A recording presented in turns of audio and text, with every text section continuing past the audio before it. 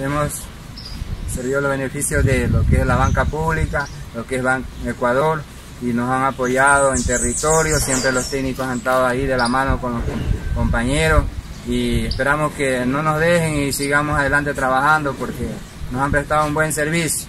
Y, queremos como decir que los créditos lleguen a tiempo y, y también en caso de que los agricultores pierdamos, tengamos refinanciamiento para poder, como decía así, salir adelante en la agricultura. El gobierno de todos.